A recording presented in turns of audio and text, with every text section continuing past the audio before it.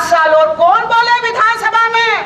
मेरे कोई बाल बच्चे है नहीं, जेल जाने से डरू नहीं, नीचे कोई रेला नहीं तो इस कारण सरकार की नाक में दम कर दिया था।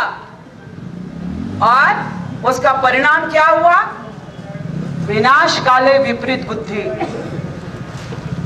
आपने मुझे बहुमत से जिताकर भेजा।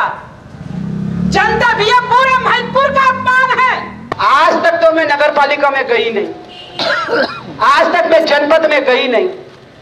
आजकल मैं, आज तक मैं एसडीओ कार्यालय गई नहीं। पर तुमने इससे सबक सीखा होगा कि कानून से बड़ा ना मुख्यमंत्री है, ना प्रधानमंत्री है। ये कानून का हथियार मेरे पास ऐसा है कि आज के बाद अगर महतपुर की जनता के ऊपर थोड़ी सी भी जाती हुई तो याद रखना, तुम्हारा हगना मूत्रा बंद करवा दूँगी, इतना याद रखना। इस बात का ऐलान करने के लिए देखिए, कल्पना परुलेकर, राकेश चौधरी को आप फांसी पे लटका दीजिए। सवाल इन दोनों का नहीं है। सवाल दिलीप सूर्यवंशी, सुधीर शर्मा सरी के माफियाओं को प्रोटेक्शन देके सरकार जो बेनकाब हुई है, उससे जिस ढंग से हमें निकाला गया था, लोकतंत्र की हत्या कर दी गई थी, और विधानसभा की गरिमा को तार तार कर दिया गया था। बीजेपी ने कोई मेहरबानी नहीं करी है? आज नहीं तो कल हम कोर्ट से आ जाते। बीजेपी ने जिनके मुँह पे कालिक पूत गई थी, उन्होंने हमें बहाल करके अपनी गलती को सुधारा है। कहना चाहती हूँ, मुझे कार्यकर्ताओं की ताकत चाहिए, क्योंकि कांग्रेस का कोई नेता भी अगर कांग्रेस के साथ गद्दारी करेगा, क्योंकि कांग्रेस ही कांग्रेस को मारती है। किसी की और की हिम्मत नहीं है। कुछ भी नहीं था। सब टेबल न्यूज़ थी। हमें दिल्ली तलब करा गया है। हमें बर्खास्त करने की बात है। न हमें दिल्ली किसी ने बुलाया, न तलब करा। जबकि निर्वाचन आयोग से हरी झंडी मिलने के बाद हरी प्रसाद जी ने हमें मिठाई खिलाई, हमें बधाई दी और कहा, मध्य प्रदेश में पूरी ताकत के साथ आप शंखनाद करिए। पूरा ऑल इंडिया के नेता आपके साथ है। यही मैसेज ज्योतिरादित्य सिंधिया जी ने दिया, कमलनाथ जी ने दिया। सुरेश पचौरी जी ने दिया।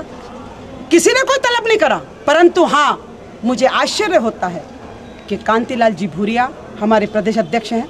उन्होंने पेपर में बोल दिया कि हम दो विधायकों को डरा धमका कर हमसे लिखाया गया। तो क्या अपनी ही सरकार में नीतिगत मुद्दों के लिए मैं आठ महीना जेल में रह सकती हूँ? क्या आपका दिल कहता है कि मैं माफ़ीनामा लिख के दूँगी? माफ़ीनामा दिया ही नहीं गया है। खेद व्यक्त किया गया है कि हम आसंदे पर चढ़े थे। तो क्या उससे भ्रष्टाचार की लड़ाई रुक जाएगी? और यहाँ मैं स्पष्ट शब्दों में कहना चाहूँगी कि अजय सिंह जी के नॉलेज में पूरा था कि हमने लेटर दिया है। हमने क्या? उनका और हमारा और राकेश भाई तीनों का लेटर गया है। ये पूरे प्रदेश की कार्य समिति को मालूम है।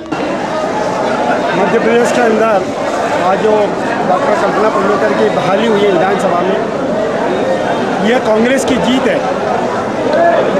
हमेशा कांग्रेस बुनियादी सिद्धांतों की पक्षधर रही है। भारतीय जनता पार्टी ने मध्य प्रदेश के अंदर जो भ्रष्टाचार के ऊपर मध्य प्रदेश के अंदर कांग्रेस विधायक दल सदन में चर्चा करना चाहता था, किंतु मध्य प्रदेश की सरकार और सत्तारूढ़ दल ने उन चीज़ों पर पर्दा डालकर भ्रष्टाचार के मुद्दों पर चर्चा नहीं कराना चाहती थी। मध्य प्रदेश के अंदर जो कुछ घटनाक्रम हो रहे हैं पूरे विगत काफ़ी समय से मध्य प्रदेश के अंदर खनिज माफिया, भू माफिया, वो तरह तरह के माफिया पैदा हो गए हैं और सरकार को चलाने वाले समानांतर माफिया भी पैदा हो गए हैं। जो दिलीप सूर्यवंशी और सुधीर शर्मा के मामले में मध्य प्रदेश विधानसभा में जो मुद्दे उठ रहे थे, उसको दबाने के लिए हमारी संसदीय परंपराओं का मध्य प्रदेश के अंदर जिस प्रकार कुठाराघात किया गया, अंतोगत प्रजातंत्री मूल्यों की जीत हुई है, कांग्रेस की जीत हुई है, नीतियों की जीत